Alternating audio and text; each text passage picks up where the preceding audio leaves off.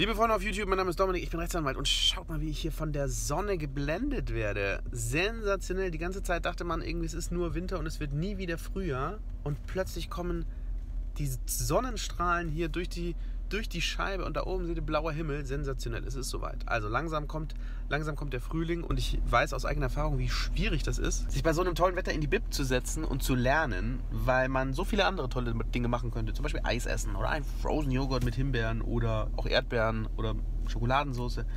Oder man könnte spazieren gehen ähm, in den Park, in München in den Englischen Garten, in Heidelberg am Neckar entlang, whatever. Es gibt so viele Dinge zu tun, aber äh, man muss halt, man muss lernen.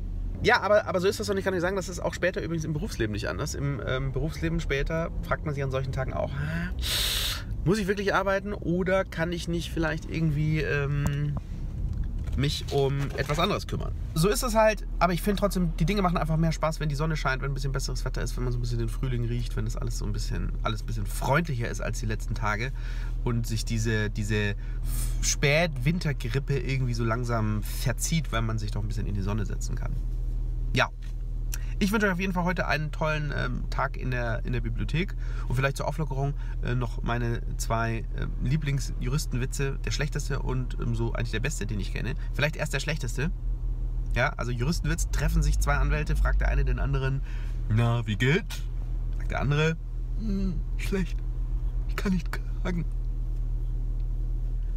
Und der beste Juristenwitz, der Prüfling sitzt in der mündlichen Prüfung und wird vom Prüfer gefragt, also in der mündlichen Prüfung, erste Staatsexamenprüfung, Strafrecht, was ist das höchste Strafmaß bei Bigamie? Antwort, zwei Schwiegermütter.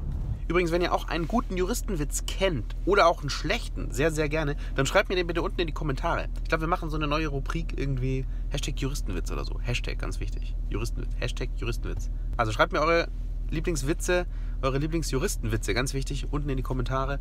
Und ähm, ja, vielleicht schafft es der eine oder andere in das neue Format Hashtag Juristwitz. In diesem Sinne, einen spannenden Tag heute. Viel Erfolg beim Lernen, viel Erfolg bei Strafrecht und wir sehen uns bald mit einem neuen Video. Bis dahin, macht's gut.